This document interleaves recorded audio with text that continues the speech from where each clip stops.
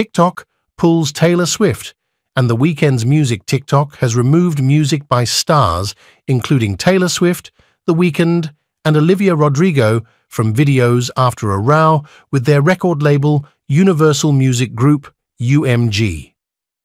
A licensing agreement between TikTok and the label expired on Wednesday, and a new deal could not be reached. UMG said TikTok wanted to pay a fraction of the rate other social media sites do for access to its songs. Thanks for watching.